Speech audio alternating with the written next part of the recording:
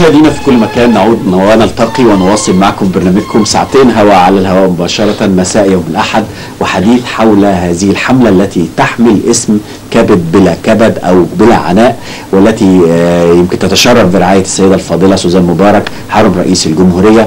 الهدف هو مواجهة أمراض الكبد وتحديدا الالتهاب الكبدي الوبائي والهدف في النهاية الحصول على 100 مليون جنيه سنويا لمواجهة هذا المرض اللي يمكن آه، بنشهد ليه تزايد في أعداد المصابين في الفترة الأخيرة والحفاظ على أكباد المصريين. بيسعد بيسعدنا يكون معنا في هذا اللقاء الأستاذ الدكتور علاء إسماعيل رئيس قسم جراحة الكبد بكلية الطب جامعة عين شمس. أهلا بك معنا دكتور. أهلا وأيضا الاستاذ الدكتور هشام الخياط أستاذ الجهاز الهضمي والكبد بمعهد تيودور بالهارس أهلا بك معنا دكتور هشام. أهلا بحضرتك.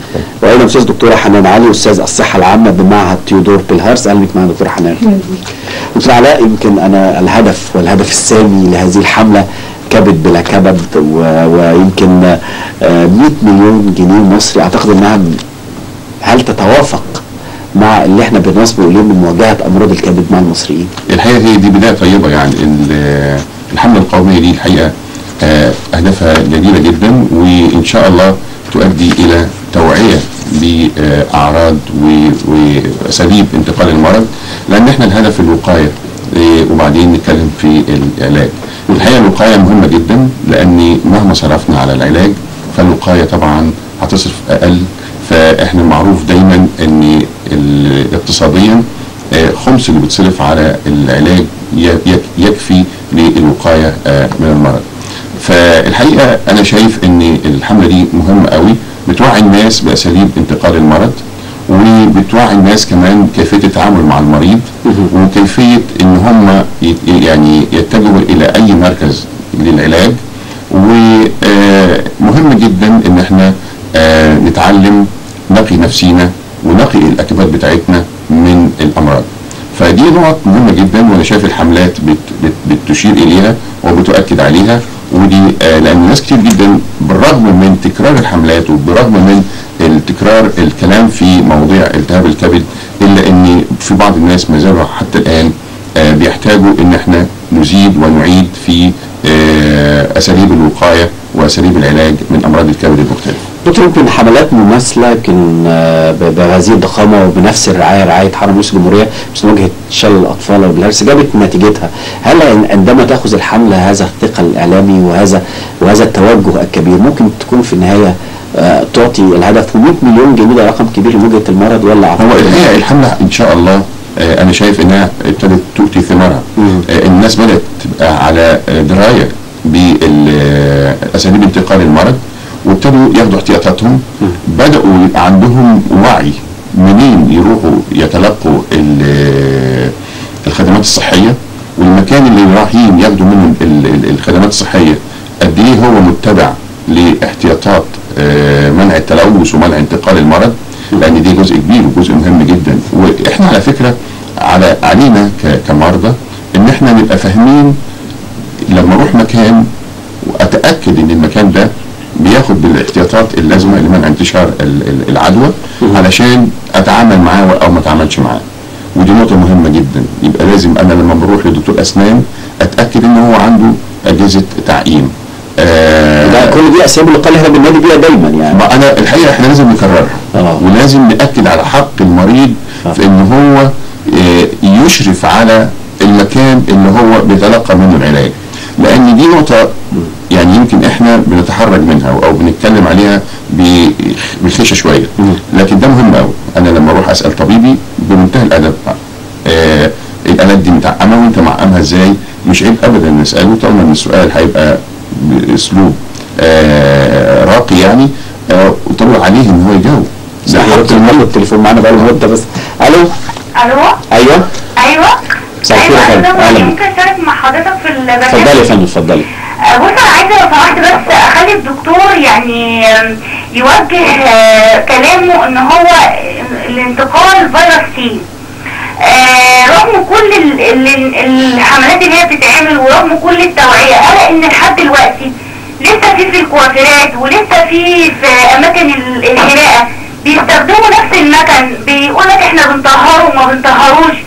مش مش فاهمين ان مهما كان بيتطهر ان هو برضه المفروض كل واحد يبقى ليه ادواته وكل واحد يبقى ليه حاجته لأن برضه آه تطهير دم النفس ان هو ممكن ينقل فيروس فيه من شخص لآخر.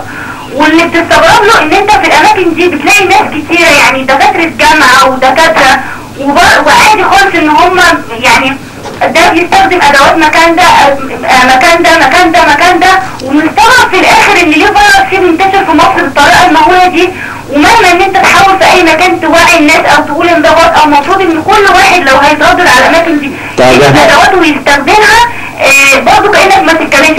أنت كل التوعية على كده فكرة. طبعا بنشكرك انك تابعين من خلال التلفزيون شكرا. شكرا شكرا. عليكم. هي قالت كل الحقيقة أنا بشكر إن هي اولا هي متابعة آه. وهي اتكلمت في نقاط إحنا يمكن لسه ما إحنا لسه مبتدئين البرنامج ما ابتديناش نتكلم على الحاجات التانية اللي ممكن تنقل المرض. لكن زي ما هي بتقول إن الحلاقة آه، طبعا ثبت إن آه، ممارسه حلاقة واستعمال أدوات شخص آخر. وإحنا مش عارفين إذا كان حتى مصاب أو مش مصاب. فإذا هو ذاته ممكن يكونش عارف. هو نفسه ما كنتش عارف. فإذا كل واحد يبقى له أدوات الخاصة بيه خصوصا الأدوات الجارحة زي ال- ال- الامواس المقصات القصافات الناس اللي هم الستات اللي بيروحوا يعملوا آه عمليات في ضوافرهم مانيكير لازم يبقى لهم أدواتهم الخاصة. حتى لو كانت بتعقم زي ما هي قالت. لازم برضو كل واحد يبقى له أدواته الخاصة وأدواته الخاصة برضو يعقمها. مش معنى إن أنا ليه أدواتي الخاصة ما أعقمهاش. فدي مهمة جدا. عند ال- ال- ال- الحلاقين كل واحد فينا آه، لازم يبقى له أدواته الخاصة. ما يروحش يستعمل الأدوات عند الحلاق وخصوصا آه، الامواس دي نقط مهمة جدا. الحقيقة لازم كلنا نخلي بالنا منها لأن دي برضو أسلوب من أساليب آه، انتقال المرض. دكتور هشام يمكن آه، دائما بنؤكد على طرق الوقايه ولكن آه، يعني إحنا بنسمع هذا الموضوع وبنسمع أعداد المصابين بقى بشكل مزعج. حتى ابتدت بقى يبقى في نوع من آه، مش هقول هلع ولكن في خوف لدى المواطن المصري الآن من أو ما أعرفش هل الخوف ده وليد وعي ولا وليد فعلا إن المشكلة ابتدت تبقى قوية. لا هو المشكلة بقت زي ما حضرتك تفضلت وزي الأستاذ دكتور علاء إسماعيل ما تفضل. المشكلة بقت قوية. عندنا عدد كبير من مرضى فيروس سي في مصر ولازم يبقى في وعي والحملة ابتدت تؤتي ثمارها حملة آه، السيده الفاضلة آه، سوزان مبارك. الحملة ابتدت تؤتي ثمارها لأن النهارده في وعي عالي جدا حضرتك الاتصال التليفوني دون أسلك صدري لأن هو في النهاية ده مردوده. يعني هي مش ب... هي مش بتسال بالظبط. هي هي هي هي هي طبعا هي يمكن دخلت البرنامج مش عارفة هل البرنامج بيبتدي البرنامج لسه بيبتدي. وهي قالت كل الكلام اللي إحنا ممكن نقوله. فأنا يا دكتور ناخد اتفضل اتفضل ألو؟ ألو السلام عليكم. السلام ورحمة الله وبركاته. أهلا بك أنا عايز بس اتفضل يا فندم. مع الدكتور علاء إسماعيل. اتفضل. آه، ودكتور علاء أنا كنت من حوالي شهرين أيوة. شفت حلقه لحضرتك وقلت إن إيه آه، حالات الالتهاب الكبدي الوبائي اللي بنشوفها دلوقتي ديت مضاعفات حقن اعطيت للمرضى بتوع بلاريزيا من 10 15 سنة. وحضرتك توقعت إن الحالات بعد كده هتكون في تراجع أيوه. بالظبط من حوالي بعد شهر برضه كان في زملاء بتوع معهد تيودور بالهرس وأثناء البرنامج عملوا تفقد المستشفى وواحد من الأطباء هناك قال يعني بيتكلم حاجة عادية جدا قال طبعا إحنا كلنا عارفين إن 25% من المصريين مصابين بتليف كبدي وهذا الرقم هيزداد بعد كده. ده رقم عالي جدا. طب أنا أنا سمعت البرنامج ساعتين هوا. يعني أنت مش عارف بقى إذا كان في تراجع في الاعداد ولا في زيادة في الاعداد. آه عايز عايز توضح الصورة دي. آه ده سؤال. بس في نقطة تانية هقولها للدكتور علاء هل مسؤولية المريض انه لما يروح عيادة سواء عيادة أسنان عيادة عيادة بتمارس من المنظار هل المريض فعلا إنه يتأكد إن الأجهزة المستخدمة جيدة ولا لأ؟ آه طبعا طبعا. طب أنا هكلم حضرتك يا دكتور. أنا آه، في ما دي ثقافة جديدة إحنا عايزين ندخلها. في زيارة يعني- لأحد أساتذة الجهاز الهضمي والكبد. و- وأنا قاعد فوجئت إن في غرفة في مقدمة العيادة بيعمل فيها المناظير والله الممرض ماسك قطعة قماش. الله أعلم بتحتوي أي محلول.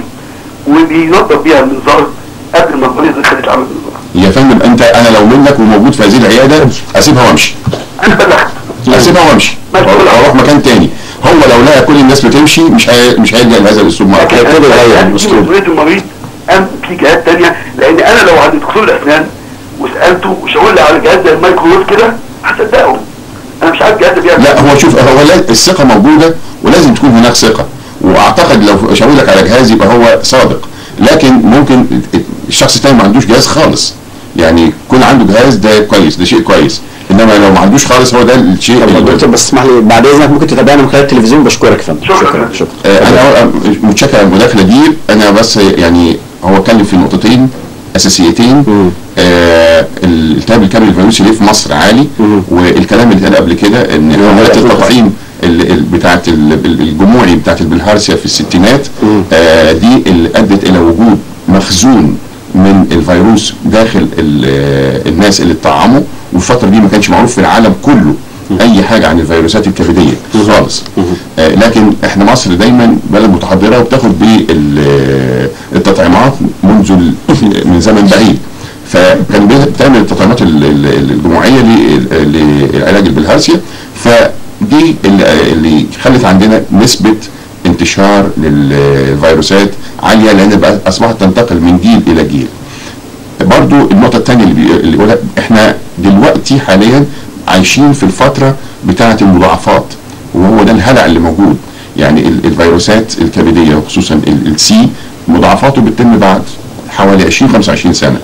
فدلوقتي إحنا الفترة اللي عايشينها فترة مضاعفات. مش ال- المرض نفسها اللي هي بتمر والإنسان ما هوش مدرك إذا كان هو مريض ولا لأ. فأصبحت فترة المضاعفات دي بتدي نوع من الهلع لكل الناس. فدي نقط كلها الحقيقة مهمة.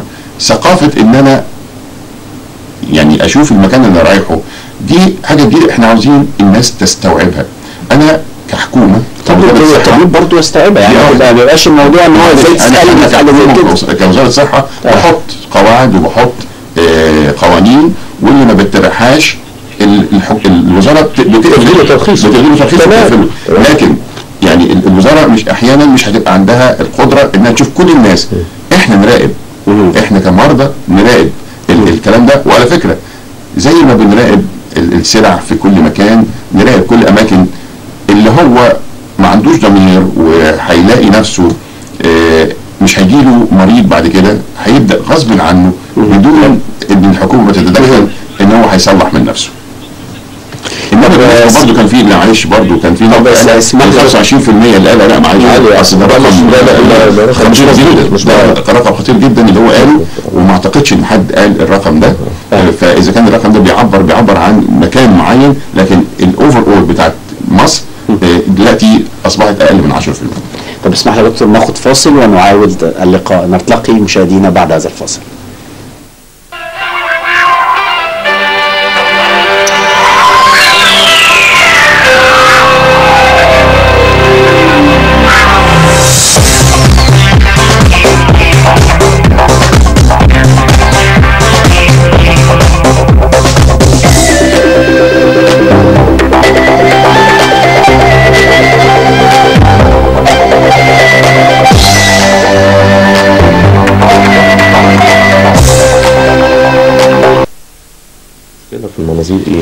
مشاهدينا في كل مكان آه، نعود ونلتقي مرة أخرى نواصل معكم برنامجكم ساعتين هوا. كان معانا تليفون قبل هذا الفاصل مش عارف معانا ولا لا. ألو؟ ألو؟ ألو السلام عليكم. عليكم السلام ورحمة الله وبركاته. تحية حضرتك وحياة البرنامج. أهلا بيك يا فندم. ضيوف الدكاترة. أهلا بيك اتفضل. أنا ليا شكوى سمعكم بتتكلموا اتفضل يا فندم. آه، عن ال- الواحد يكون المريض ده نفسه واعي. فافرض المريض واعي اللي صحيا واعي للأجازة ولمح الدكاترة بتشتغل مثلا معاه غلط الدكتوره بتقول لك انت مالكش في الحاجة دي. أنا تعرضت في إحدى مستشفيات التأمين الصحي. بعد يرسي فالدكتورة ما كانش لها مزاج إن هي تقوم تخلع لي. فرحت اشتكيتها للدكتور الأكبر من أنا راح جات وقال لي لازم تقوم تخلع لي. طلعت من ايمانها على الكرسي جابت الإبرة جابت ال- ال- البنسه اللي هتخلع فيها ال- الدرس السبعه فجابت إبرة البنج ركبتها. فبقول لها حضرتك قالت لي الممرضه هاتي السن قالت لها ما فيش قالت لها خلاص مش مشكلة. راحت في طبق اللي هو بتخلع فيه الأسنان راحت واخدة السن مستعمل فبقول لها كده غلط يا دكتوره راحت زغتاني وقالت لي أنت هتعرفني شغلي.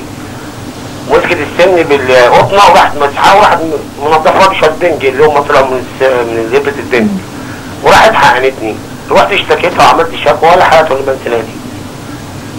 طب تابعت يوم 24 في إحدى مستشفيات التأمين يوم 4 26 4 طيب آه، إحنا بس نطلب منك تتابعنا من خلال التلفزيون وشكوتك وصلت؟ لا، شكرا. نشكرك دكتور الشريف لا هو أنا عايز أقول حاجة. هو اولا في زي ما الدكتور حنان والدكتور علاء آه، عارف كل مر... يعني المراكز آه، الصحية التي فيها وده تعلم آه، الاستاذ دكتور حاتم الجبلي منوط بالموضوع ده جدا ومهتم بالموضوع إن في infection control ما يطلق عليه آه، اللي هو حماية المرضى من أي عدوى من المستشفيات. ده موجود. هو عمل حاجة كويسة جدا. طبعا التصرف ده غير لائق لو كان حصل من الطبيبة دي. لكن هو ال- ال- ال- المهم إن هو كان لازم لازم عمل الشكوى دي. إذا الشكوى دي في المستشفى بتاعت التأمين الصحي لم تجد صدى أنا أعلم جيدا للصديق العزيز والأستاذ الدكتور سعيد راتب اللي هو رئيس هيئة التأمين الصحي. لا يمكن هيسكت على حاجة زي دي لأن أكثر ناس متابعين ال infection control التأمين الصحي لأن ده بيخدم ملايين المواطنين. ف وخاصة زي ما الدكتور علاء تفضل وقال إن المشكلة الأساسية دلوقتي في نقل العدوى أهم مشكلة هي المشكلة اللي هي عن طريق الأطباء عن طريق الكوافيرات عن طريق المونيكير والبديكير الحاجات الجديدة اللي ظهرت بقى كمان حديثا خرم الودن الوشم في بقى حاجة مهمة جدا برضه عايزين نوعي المواطنين فيها اللي هي الحاجة الثالثه اللي هي نقل العدوى داخل البيوت من مصاب إلى اللي هم معروف داخل في دراسه مصريه آه هي دي المشكلة بقى هو دي أنا اسف في اللفظ اللي جاي المصيبه لأن للاسف الشديد المواطن المصاب بفيروس سي في مراحل المرض المتقدمه بيحتاج لحقن بيحتاج ان في دم بينزل من مناخيره في بعض الاحيان في حقن بتتاخد في العضل أو في الوريد المخالط ليه بيفضل يمرضه من غير أي جوانتيات لازم نزود الوعي ده. فرشة سنانه تبقى لوحدها آه، ال- الصفة الضوافر المقص فوطه تبقى لوحدها. الكلام ده مهم جدا جدا. مراية السرير لازم تتغير من تحتيه. لو فيها لأن الفيروس ممكن يبدا يفضل في في الملاية موجود أو في على الاسطح 28 يوم. فدلوقتي في دراسة كانت منشورة في أحدث مجلات في أحسن مجلات ال- الكبد في العالم الأمريكية ودي دراسة مصرية. دراسة بتقول إن المخالطين لمصاب بفيروس سي معرضين للعدوى خمس مرات الناس العاديين. فدي نقطة لازم بقى نزود الوعي إن في مشكلة تانية غير موضوع الاطباء والتوفيرات اللي شبه كده بالفعل معانا تليفون. ألو؟ ألو؟ أيوه. مساء الخير. مساء النور يا فندم. آه لو سمحت حضرتك أنا كنت عاوز أعرف ال- في حالة الإصابة بالفيروس سي دوت تمام؟ وعرف الشخص إن هو مصاب بيه الكامل نوع كامل. إن آه. هو يروح يعمله. مم. يعني هل الت- التحليلات دي تعرض على الطبيب؟ إيه الإجراء اللي هو المفروض الصح يعمله؟ هل ده ممكن الفيروس سي الكامل ده يسبب عدوى. شكرا شكرا. جدا. دكتور رحمن آه، اتفضلي. طيب هو بالنسبة إن هو ممكن يسبب عدوى ممكن يسبب عدوى. طبعا هو معناه كان إن هو ما فيش أعراض ده هو المريض بيحس بيها يعني. لكن هو طالما الإنسان أصيب يبقى ممكن يكون يعني حتة كامل أو مش كامل دي ما بتمنعش من من العدوى آه. يعني إيه كامل بقى؟ عشان أنا مش فاهمها. طب ممكن مثلا يوضح هو هو هو كلمة كامل دي عايزين نوضح برضه للمرضى عشان دي مشكلة ممكن بتقابل كمان الدكتور علاء إسماعيل. آه ال- الفكرة إنه دائما ابدا بنقول ال PCR مش معناه يعني ممكن واحد يعد يبقى في الدم 3 10 15 مليون. يقول لك ده أنا عندي الفيروس نشط جدا. إنما نشاط الفيروس مرتبط بحاجتين. الحاجة الأولانية ارتفاع إنزيمات الكبد. يعني لو إنزيمات الكبد طبيعية والفيروس عالي في الدم ده مش معناه إن هو يبقى الفيروس نشط. الفيروس النشط لازم تكون إنزيمات مرتفعة أو لو اتعمل عينه من الكبد يبقى في درجة التهاب أو أو آه مرحلة من مراحل التشنع أو التليف. ويبقى عد الفيروس الدم ملوش أي مؤشر ل يعني ك- كامل أو غير كامل. أهم حاجة إنزيمات الكبد ثم العينة الكبد. ألو؟ ألو؟ عليكم السلام ورحمة الله وبركاته. ازيك يا بيه لو تكرمت أنا عاوز أسأل سؤال بس. اتفضل. آه، لو تكرمت دلوقتي إحنا أنا عندي فيروس سي. آه. وأنا أول مرة أعرف الكلام ده من حوالي أسبوع يعني مش أكتر. مم. ده أنا صعبت يعني في الموضوع. فنفسي أسأل سؤال. أنا طبعا بيبقى الواحد لما إنه بيعرف أول مرة بيبقى تعبان ونفسيا والحاجات دي كلها. لكن وفجاه في التلفزيون الاقي إعلان وإعلانات نازلة يعني بطريقة غريبة جدا إن ده علاج نهائي وعلاج شافي وعلاج من الكلام ده كله. أنا واحد ما أعرفش حاجة لازم هشتري. أو فجاه لما بتصل بيقول لي ابعت وأنا هنبعت لك والكلام ده كله. هل ال- ال- ال- الدواء اللي أنا هاخده ده هيأثر عليا؟ هيتعبني. هي ممكن يقوم لي الفيروس تاني إذا كان كامل. الحاجات دي كلها إحنا مش مهم ال- إحنا مش يعني بنقول الإصابة تمت واللي كان كان. لكن العلاج إيه؟ أو إيه اللي يتم؟ أو إيه اللي أقدر أعمله؟ هو ده اللي أنا عاوز أسأل. عليه نشكرك يا فندم. شكرا على السؤال. تابعنا في التلفزيون. نعم. شكرا. آه دكتور علاء اتفضل بس من الواضح إن هو بيتكلم على آه، أدوية بيعلن عنها في ال- إحنا في القنوات الفضائيه المشكلة جاية. آه. لا ما عشان كده أنا بأكد عشان لما أتكلم عليها آه. ابقى عارف إحنا بنتكلم على إيه. آه. طبعا ما حدش يلجأ إلى إن هو ياخد أي أدوية معلن عنها من غير ما يستشير طبيب اطلاقا اطلاقا. وخصوصا إن الأيام دي آه، طبعا آه، في بعض الناس بتستغل معاناة مرضى ال- الكبد وبتعلن عن أدوية طبعا لا أساس لها من الصحة من الناحية العلمية ولم تجرب علميا ولم تجرى عليها أي أبحاث وبتعلن عنها وده غلط. يعني المفروض إنها دي تجرب الحقيقة يعني. آه لكن آه زي ما قال الأستاذ الدكتور هشام دلوقتي هو على هو عرف إنه عنده إصابة بالكبد الفيروسي هيعمل انزيمات الكبد بتاعته. لو هو طب... لو هي طبيعية فمش هيحتاج آه علاجات. إنما لو انزيمات الكبد بتاعته عالية هيبدأ بقى يلجأ لأحد من الأطباء وهيبدأ يديله علاجات. وبعدين ما هي الحملة القومية والفلوس اللي طالعة دي من الحملة القومية؟ هي لعلاج مرضى الالتهاب الكبدي الفيروسي بي وسي. آه طبعا وفي دلوقتي أصبح على مستوى جمهورية مصر العربية. عديد من المراكز دلوقتي منوط بيها إعطاء الأدوية لهؤلاء المرضى. وعلى فكرة بيتاخدوا على نفقة الدولة برغم من ارتفاع أسعار هذه الأدوية. الحقيقة وزارة الصحة آه، مشكورة آه، أسهمت في إنها قللت من ثمن الأدوية وبالرغم إنها قللت ثمن الأدوية إلا إنها برضه بتديها آه، على نفقة الدولة بالمجان. لكن من خلال شروط معينة ومن خلال يعني قواعد معروفة مش أي حد ياخد الدواء وكل واحد لازم يلجأ للمراكز المتخصصة. مش أي مركز مراكز متخصصة الدولة مخصصاها لإعطاء هذه الأدوية بيتكشف عليه بتعمل له بعض التحليلات ويشوف إذا كان الدواء ده هينفعه وهيفيده ولا مش هينفعه؟ فمهم جدا يلجأ لأي من هذه المراكز. ألو؟ أيوه. أيوه مساء الخير. استنوا يا باشا. اتفضل يا فندم. لا. أيوه مساء الخير يا فندم. أهلا بيك. اتفضل. لا حضرتك أنا من من سنتين عملت تحليلات فطلع عندي فيروس سي الحمد لله أنا مش حاسس بحاجة. ولكن بتعالج عند دكتور. آه. آه، آه، مستقبلا في ظهور أو في أعراض أو في خطورة على الموقف. شكرا يا فندم تابعنا اتفضل يا. حضرتك حضرتك انزيماتك انزيماتك طبيعية ولا هو قفل؟ مش كده؟ طبيعية. بعمل بتاع كل 3 4 أشهر. انزيماتك طبيعية. آه طبيعية آه. طبيعية. والموجات الصوتية يا فندم؟ آه، أنا الحمد لله ما فيش ما بحسش بأي حاجة. تمام تمام. طبعا طيب يا فندم. لا يا فندم خلاص. تابعنا من خلال التلفزيون بشكرك يا فندم. مهم جدا حتى من غير عينة من الكبد. برضه بطمن اللي عنده انزيمات طبيعية. واخد بال حضرتك. و آه، ال- ال- ال- الموجات الصوتية ما فيهاش ساعات بيبقى فيها توهج معناها بسيط.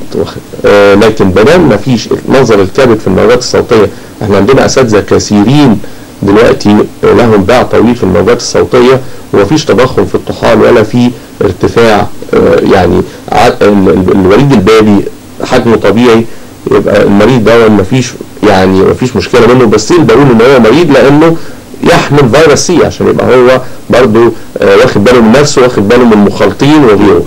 فمفيش أي مشكلة. هو بيتابع مع الدكتور كل ثلاث شهور بيعمل التحاليل الدورية ويروح له يفحص ويطمن على نفسه. مفيش أي مشكلة خالص وبطمنه تماما. ودول نسبة كبيرة جدا من المرضى. يعني دول النسبة الكبيرة اللي إحنا بنواجهها. نسبة المضاعفات زي ما الأستاذ الدكتور علاء بيقال إن إنها نسبة أقل بكثير من الناس اللي هم السواد الأعظم اللي حاملين الفيروس دكتور حنان يمكن آه، قيل زمان أو مش ماشي أو من أحد الأسباب زمان موضوع الحقن اللي كانت بتتاخد بشكل جماعي واللي كانت بتؤدي للإصابة. ولكن مرض البلهارسيا كمرض بعيدا عن هذه الحقن ممكن يؤدي لحدوث آه، فيروس سي أو قدوم فيروس سي للمريض.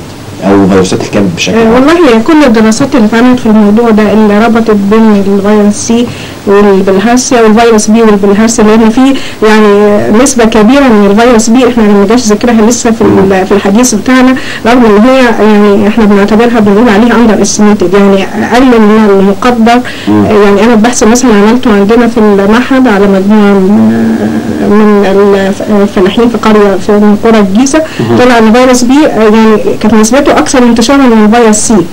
فده معناه إن إحنا يعني كمان فيروس سي دايما الكلام عليه كتير. فبننسى في القصة فيروس بي رغم إن هو خطورته كبيرة جدا. فعلاقة البلهارسيا بالنوعين دول من الفيروسز مش علاقة سببية يعني مش ده نتيجة ده أو ده نتيجة ده. هو لكن اللي بيحصل إيه؟ إن لو مريض آه باحدهما بتبقى مناعته آه، العامه ضعيفه بحيث لو هو أصيب بنوع آخر من المرض ممكن يصاب بيه أسهل من من الإنسان الطبيعي. فاحنا دايما بننصح. المريض البلهارسيا يتعالج بسرعة جدا من البلهارسيا عشان مناعته ما تقلش يقوم يبقى درجة إصابته بالفيروسات الكبدية أعلى. والعكس صحيح. آه الحاجة الوحيدة اللي ثابتة في الأبحاث إن الإنسان لو هو مصاب باكثر من مرض في الكبد يعني بالبلهارسيا مثلا وأحد أنواع الالتهاب الكبدي ب أو بي, بي أو سي ده بيبقى آه ال- التدهور بتاعه أسرع كثيرا من لو هو مصاب بحاجة واحدة. وإحنا بما إننا عندنا كانت نسبة بلهارسيا عالية إلى إلى وقت قريب يعني قبل ما تبتدي يعني الحملات القومية بتاعتنا تشتد في السنين الأخيرة آه، كانت تعتبر يعني تزامن في فترة ما إن الالتهاب الكبدي كان نسبته عالية والبلهارسيا برضه كان نسبتها عالية وهي دي فتره المضاعفات اللي إحنا شايفينها قوي دلوقتي. معنى كده البلهارسيا لسه ما ما, ما تمش القضاء عليها في مصر. لا هو إحنا في مرحلة القضاء يعني إحنا إحنا لسه كنا الشهر اللي فات في إحدى قرى آه، الدلتا وعملنا يعني survey صغير كده مسح صغير فطلع حوالي 5% عن الناس عندهم بلهارسيا معوية لكن كانت شدة الإصابة بتاعتهم مش عاليه يعني البويضه مثلا في الشريحة دي إحنا بنعتبرها في مفهومنا إحنا إن شدة الإصابة مش عاليه لكن هي ما زالت موجودة لكن الدولة بتسعى يعني لما بيلاقوا نسبة إصابة كده بينزلوا بعلاج جمهوري على طول. المواطنين بقى يستجيبوا يعني بنقول علاج جمهوري كله يروح يكشف ويحلل وياخد العلاج زي هل هي متوطنه دكتور. يعني مش هتنتهي تماما مش هيتم القضاء عليها. هتروح وتيجي كده زي ما ما- يعني 5% 10% 2% هل هتنها موجودة؟ زي هي المستشفى ظروفنا- هتجز تماما. لا هي هي أصلا هي الفكرة مختلفة. عشان الأطفال له آه، تطعيم. آه. والتطعيم بتاعه فعال جدا. يعني نسبة فعاليته تكاد مثلا تكون 75% البلهارسيا حتى يومين هذا ملهاش تطعيم. كل آه، أسلوب ال- الوقاية بتاعها آه، سلوك اجتماعي. كويس؟ آه، فأنت لازم تعالج السلوك عشان هي تتعالج. ده فضلا عن في عامل تاني مساعد اللي هو عامل وجود القوقع في الماء القوقع ده كائن حي هو موجود طبيعي. يعني هو موجود زي ما إحنا انسان موجود على الأرض والقوقع موجود في الماء. آه، منابع النيل بتاعتنا هي هي مش هتتغير. البلهارسيا موجودة من دول منابع النيل كلها وماشية لغايتنا. فالقضاء عليها لغاية 0% دي عايزة آه، يعني كتيرة قوي و... آه. آه طريقة تانية. يعني أساليب الري تختلف أساليب البناء تختلف. لكن عشان يعني يعني على قد إمكانياتنا ومق يعني مقدرتنا ك- كدولة نامية إحنا أه- أه- يعني بيقولوا عليه التخلص بنسبة أقل من 1% دكتور هشام آه، هل ممكن مريض يبقى عنده فيروس يعني فيروسين أو ثلاث فيروسات في نفس الوقت ولا آه صح؟ يعني حاجة هو ال- آه، في في أحيان آه، ليست بالقليلة. آه. ان بي- بيحدث أن المريض يصاب بفيروس سي ومعاه فيروس بي. هو اللي بيحصل إيه؟ إنه في بعض الأحيان وفي يعني في الأغلب بيبقى السي بيعمل نوع من الإحباط لتكاثر فيروس بي وليس العكس. غالبا السي بيحبط بيحبط تكاثر فيروس بي يعني يبقى موجود البي ويجي عليه السي ويبقى لأن الاثنين لهم نفس طرق العدوى فيما عدا إن بي كمان أخطر زي ما الدكتورة حنان قالت لأنه كمان بينتقل مش بس عن طريق الدم ينتقل عن طريق العلاقات الجنسية الغير سو... العلاقات الجنسية سواء السوية أو الغير سوية وعن طريق برضه من الأم ال- اللي مولده فالقصة دي مش موجودة في آه، فيروس سي. فيروس سي. فمشكلة فيروس بي إن له نفس طرق العدوى بتاعه فيروس بي له نفس طرق العدوى بتاعه فيروس سي بالإضافة إن هو له طرق عدوى أخرى. فممكن فيروس بي ينتقل برضه مع فيروس سي. والمشكلة بتبقى مشكلة بقى أشد. آه ساعات بيبقى في إحباط لتكاثر فيروس بي في المرضى اللي عندهم فيروس سي لأن فيروس سي هو يبقى المسيطر وهو المحرك أكتر لكن المرضى دول بقى مشكلتهم في العلاج. لما بنديهم العلاج الاستجابة بتاعتهم بتكون أقل بكثير من الناس اللي عندهم فيروس العلاجين بي. مختلفين تماما؟ آه لا هو العلاج بتاع فيروس سي وبي آه. في الاثنين بيجمعهم برضه علاج واحد اللي هو الإنترفيرون. لكن فيروس بي ليه دلوقتي بعض الأدوية التي تؤخذ بالفم. مجموعة كبيرة موجودة في مصر دلوقتي. ميزتها عن الحقن ان هي طبعا ما فيهاش أعراض جانبية غير قليلة جدا جدا تكون نادرة. بس ال- ال- ال- المشكلة وطبعا قرص واحد بالفم أحسن بكتير من الحقن. لكن مشكلتها إن هي بتتاخد ملهاش فترة زمنية محددة. بتتاخد فترة طويلة ممكن تمتد إلى العمر كله عشان تحبط نشاط الفيروس. عشان كده ممكن الاثنين يجوا مع بعض تكون النتيجة إن طبعا المرض بتبقى وطئته أشد وبتكون المشكلة الثانية في العلاج المشكلة الثانية بتبقى إن العلاج ما بيجيبش النتيجة المرجوة ويبقى العيان دون ما بيستجيبش للعلاج بتاع الانترفيرون بطريقة زي طرق زي ال- ال- المرضى المماثلين ليه. دكتور علاء طب ليه دايما يعني فيروس سي بياخد هذه السمعة في الخطوره؟ يعني خاصة أنا يعني حسيت من كلام آه، دكتور هشام ال- البي برضه خطر وخ- وليه نسبة خطورة عالية جدا. ليه فيروس سي دايما اللي هو on spot يعني؟ لأن هو الأكثر انتشارا. آه يمكن أنا هاخد الحبل من الأستاذ الدكتور هشام وعاوز آه أوضح طالما إن الفيروس بي- بهذه الخطورة فاذا التنبيه بقى لكل السادة المشاهدين إن أي إنسان مخالط لإنسان في المنزل بتاعه عنده فيروس بي الكل لازم ياخد التطعيم طبعا مصر من البلاد القليلة جدا اللي هي عندها التطعيمات بتاعت الفيروس بي إجبارية ومجانية. يعني نادرا لما تلاقي كده في العالم. ف ده ابتدى من فترة صغيرة. اللي عمرهم أكتر من 10 15 سنة لازم ياخدوا آه، الطعم الواقي من الفيروس بي ده أساسي ومهم جدا طب هو التطعيم بي بي بيمنع الإصابة تماما ولا؟ طبعا آه. طبعا طبعا آه. وهو له ال- النظام بتاعه اللي هو 0 1 و6 يعني النهارده بعد شهر بعد ست شهور وكل آه، خمس سنين بيتاخد جرعة آه، طب بالنسبة للكبار آه، زينا كده؟ هم دول اللي ياخدوا برضه. ده آه. لازم يعني افرض أنا في البيت عندي حد أنا مخالط لمريض آه. عنده فيروس بي لازم في أنا عاوز برضو يعني اجاوب على أسئلة قد تخطر على بال المشاهدين. بعض الناس يجي يقولوا لي طب أنا زوجتي أو هو واحدة تقول لي زوجي عنده الفيروس بي. ساعات ناس بت- بتسألني هل نتطلق ولا ما نتطلقش طبعا لأ. بالرغم إن فعلا ده جلال آه. آه، يعني يعني يعني يعني ما آه، اتجوزوش من مصر لا, لا يعني أقصد إيه؟ طالما هم خدوا ال- التطعيمات آه. واتعالجوا مفيش منه مشكلة. وطالما إن ال ال ال ال العلاقة ال- الزوجية علاقة شرعية ولازم نهتم جدا إن إحنا نفهم الزوج والزوجة إن الزوجة لما يكون عندها تقرحات أو عندها آه، يعني أي التهابات في في ال- الم- المنطقة بتاعت ال- ال- الأمراض النساء فتبتعد في الفترة دي عن أي آه، علاقة زوجية. هو ده إحنا عايزين نعلم الناس إزاي يعيشوا ويعيشوا في أمان من غير ما يحصل لهم الهلع. لكن ما نقولش إن واحد يتطلق من مراته أو آه العكس. فإذا دي نقطة مهمة جدا. طب هل بقى الأم دي هتنقل الفيروس بتاعها لابنها لو هي حملت بالطريقة دي؟ لا مش هيحصل إنها تنقله في من خلال ال- ال- المشيمة لأن النسبة ضئيلة جدا لدرجة إن إحنا بنقولها آه، ما بيحصلش.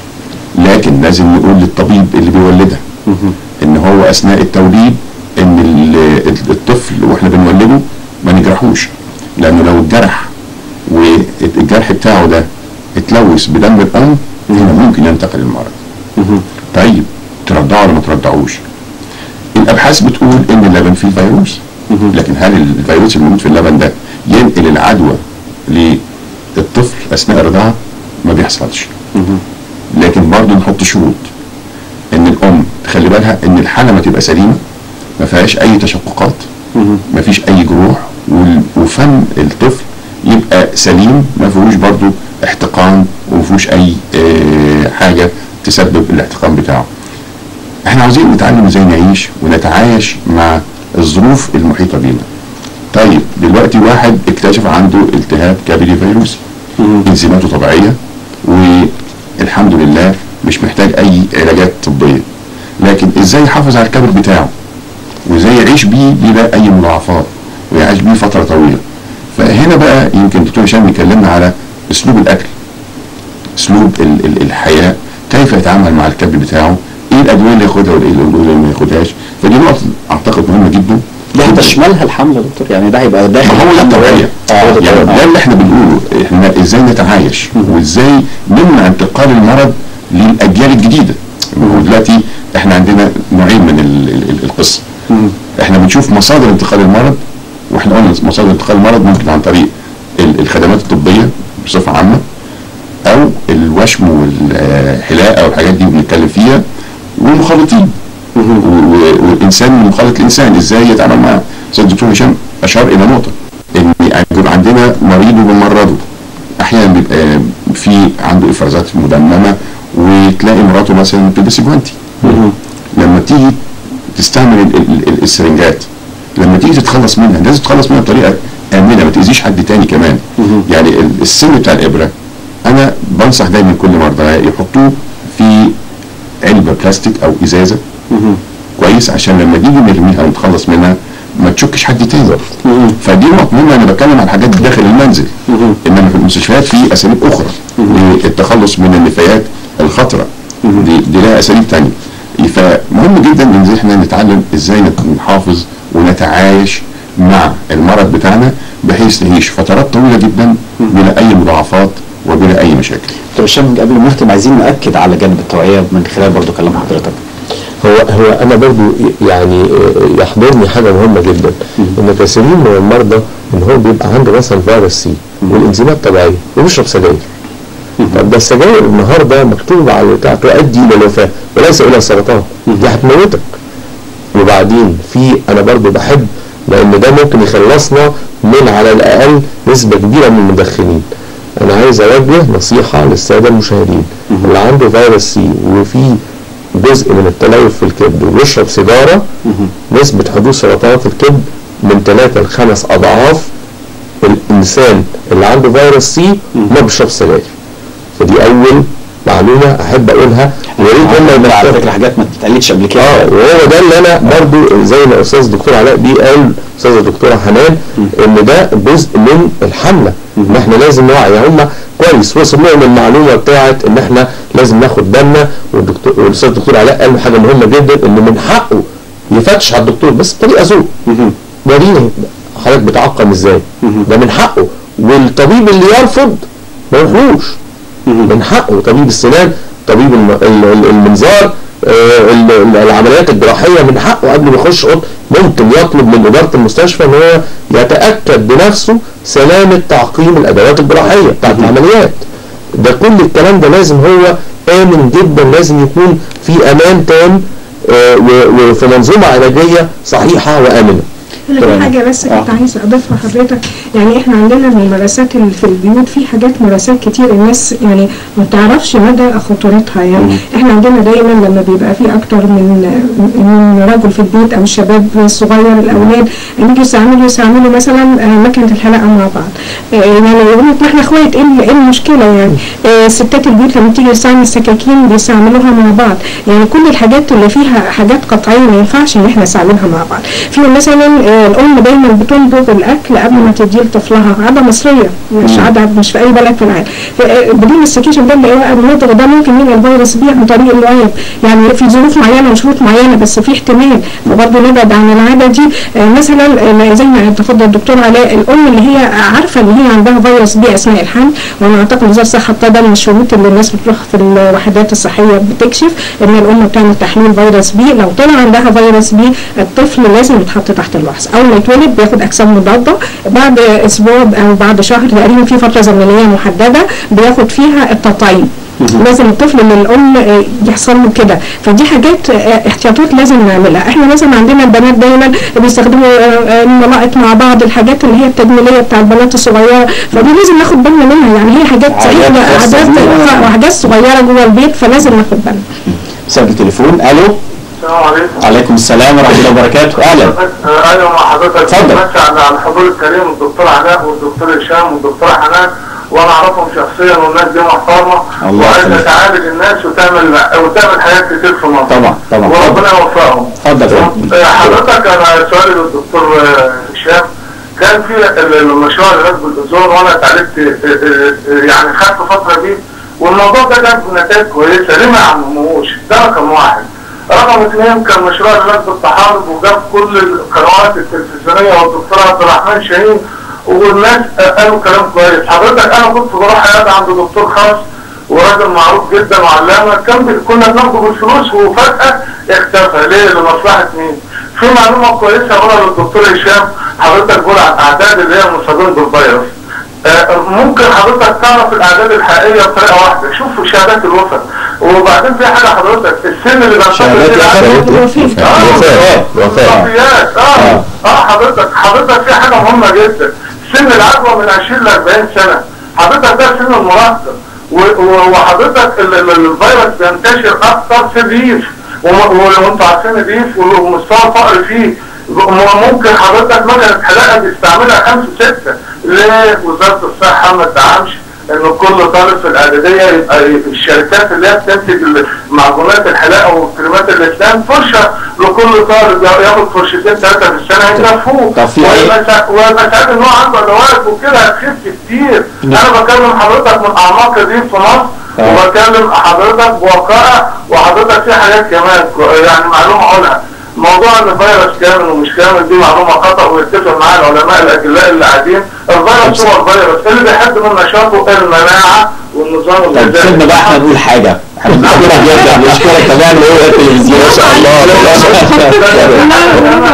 لو تعطيت الدكتور هشام يعني آه، آه، معظم العلماء اللي بدوا على التلفزيون ده مميت ده ده ده ده ده وكل الكلام ده وبعدين أقول معلومه كويسه الدكتوره هشام عارفها ممكن حضرتك واحد عنده فيروس يروح يحلل يلاقي الانزيمات عالية.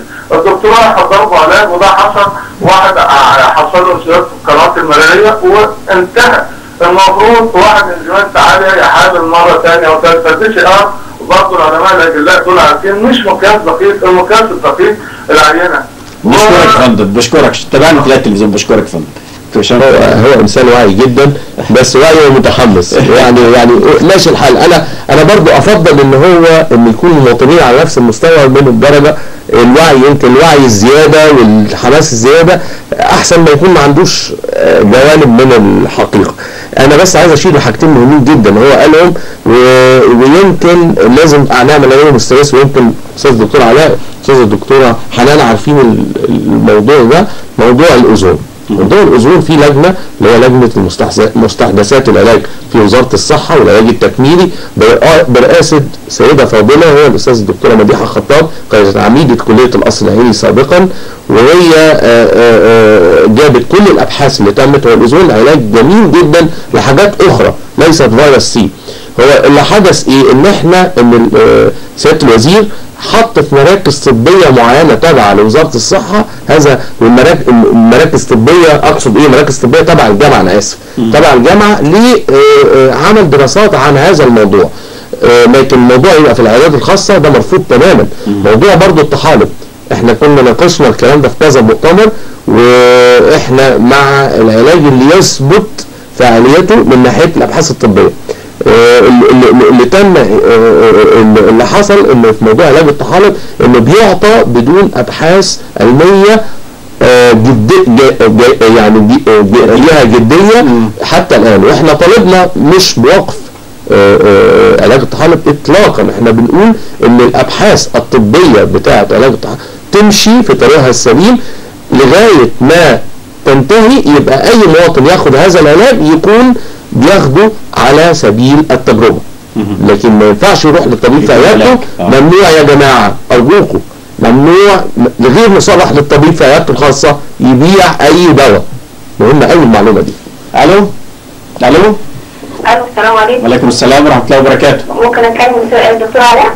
اتفضلي يا فندم بعد إذن حضرتك يعني دلوقتي أنا جوزي آه، طلع عنده فيروس سي وتابعنا مع دكتور وطلع التحليل PCR 2.6 من 10 والإنزيمات الكبد كانت في البداية 92 بقت دلوقتي 50 و80 ماشي؟ وطلعت قرار على نفقة الدولة إنه ياخد ال- الحقنة. آه، فدلوقتي لما عملنا العينة الكبدية طلع فيها ان ال- التلامس 6 على 6 فجينا عشان ناخد الحقنه دلوقتي رفضوا إن هم يدونا الحقنه ماشي حضرتك؟ طب إزاي إن يعني نفقه الدولة طلعت لنا قرار إن أهل هم شافوا العينة يعني في نفقه الدولة شافوا العينة الكبديه ودلوقتي هم رفضوا خالص بعد ما جبنا للشركه المصرية هنا القرار رفضوا إن هم يدوا الحقنه طب نعمل إيه؟ لا بس الحقيقة يعني, يعني. أنا بس. عايز إيه، انبهك لنقطة. إن الأدوية دي زي ما لها آه، فوائد لها أضرار. وإحنا بنتأكد إن المريض هيستفيد من الدواء قبل ما نديهوله. فطالما إن نسبة التليف عنده نسبة زيادة فهو مش هيستفيد بالطريقة دي من من الدواء. عشان كده ما نديهولوش. وهناك أساليب أخرى للعلاج. مش معنى إن هو مش هياخد انترفيرون يبقى يبقى الدنيا اتقفلت في وشه اطلاقا. في أساليب أخرى من العلاج وزي ما اتكلمنا من شوية أساليب الحفاظ على الكبد والبعد عن آه، أشياء كتيرة جدا. آه، أنا الأستاذ الدكتور هشام دلوقتي من من ضمنها التدخين والأكل الصحي والبعد عن الأدوية بلا داعي وعدم تعاطي أي دواء إلا بواسطة الطبيب. فيخلي باله ويحافظ على نفسه ويحافظ على صحته. ويعيش حياته حياة يعني ما سليمة. يرجعش للطبيب تاني معالج إيه؟ ما هو لازم يرجع للطبيب.